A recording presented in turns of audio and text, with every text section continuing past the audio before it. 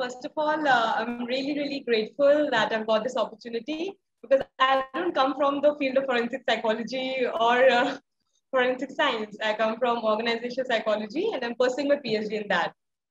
So uh, I've just given it a try and I'm, I got a lot of information from today's session. So I've just given it my best that I could. So with your permission, can I please start with my presentation? Uh, yes, please. So I have just studied the different gender differences in, in, in instances of uh, online abuse and perceived social security. So if we talk about today's era, or see, internet is so omnipresent. There are new apps being launched every day. There are new things being launched every every day, new day, new apps, new trends, some Instagram trends, TikTok trends, and that's being uh, that's and people not feeling secured uh, regarding their uh, information that's being shared online. Let it be their background, so let it be their all the informative information. So when I was reading the researches, I came to know about the statistics and I just uh, read about them. So that says in India, the total uh, percentage of uh, men who use internet a lot are 71%, and the women uh, who contribute to it are uh, somewhere around 29%. Fine, but there are uh, new terms like trolling is now a, new in trend, which is kind of an online abuse for some people. Even uh, the sense of humor that people use online. So uh, I read, wait, so I was, okay. So I uh, read some literature and I've just noted two of them down. One, when uh, I was reading one research of Sengupta and Chaudhary that she did in 2011, which understood that uh, how social media has increased the cyber abuse and how these social media sites uh, don't have those strict regulations by for now or the uh, uh, related to cyber abuse. There's a lot of people who are facing these increase in cyber abuse. And the second, which was conducted in 2016 by Jane Yon, he concluded that women were more prone on to being addicted to their smartphones than men. And it was further noted that men were likely to check their phones only during breaks and like the call or text. But when we talk about women, on the other hand, they were they were more prone to it, and uh, they were they were the more vulnerable section of the society as compared to the male dominance. Okay, so the objectives of the research were to identify whether there is a gender difference in uh, cyber abuse faced by men and women, to identify whether the type of abuse differs between men and women, to understand what acts as a trigger to cyber abuse and how secure both men and women feel uh, when they're using the cyber web. So the sampling that I did was I, because of the time constraint and uh, me trying to like put in a lot of uh, effort and understanding the complete scenario. So we could just collect the data from 60 people. And uh, it was made sure that I get the data from both male and female. And the research tool that was, it was made an online questionnaire. It was a customized questionnaire. I took questions from uh, different questionnaires uh, from, from the same field. So there were total 17 questions, out of which two were the, uh, sorry, there were total,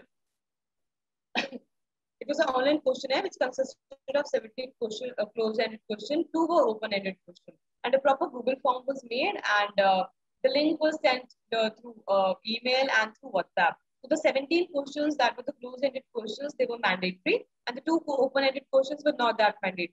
But most of the people did respond to that.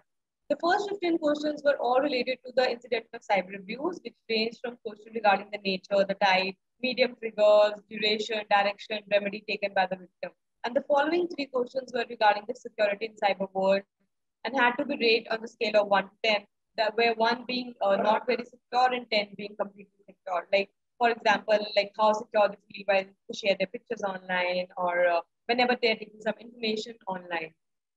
The last questions that were the open-ended questions of, uh, of personalities from the field industry of journalism, entertainment, publishing, comedy, political, politics. Men and female both counterparts were taken. And uh, also what kind of threats they get. Uh, they were also asked to write about that. And they were told that how extremely they were affected by it what was the severity of the uh, complete scenario, and then all the responses were collected anonymously.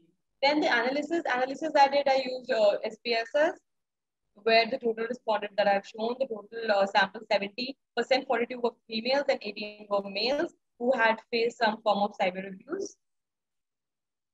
And as I've written it on the graph, there were uh, the most things that were faced by the people around the threat of violence, cyber stalking, harassment, name calling or offensive language, and more than one. That is combination of two or more things came up. So as it is evident from the above graph, harassment was the most common form of cyber assume that the victims had faced. Nearly 40% of both male and female users faced some form of harassment and also rated this form of abuse as less severe.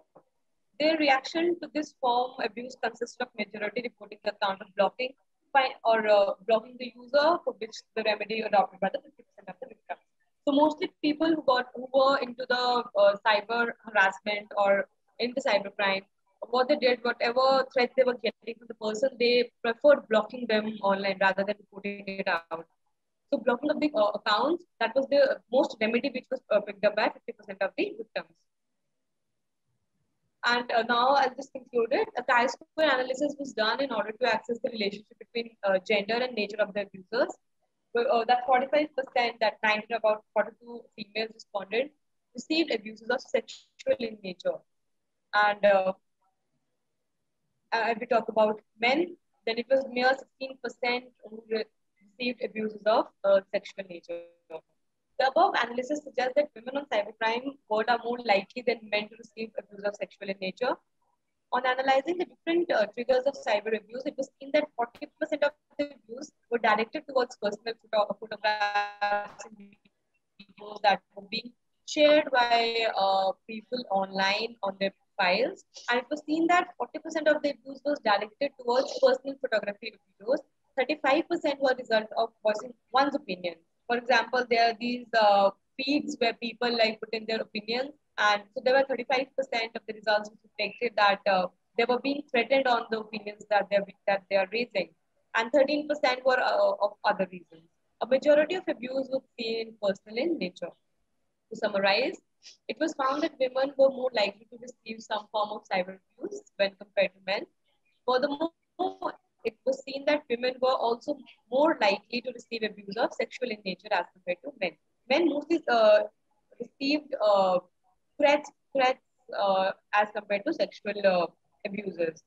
Harassment was one of the most common form of abuse uh, faced, and it was rated as less severe. Majority of the respondents rated personal photography videos as most common trigger of abuse. It can be inferred that the most form of harassment that female users faced were non-violent yet sexual in nature. So it was more uh, things were more sexual in nature. All the harassments were more sexual in nature. That's it. That was uh,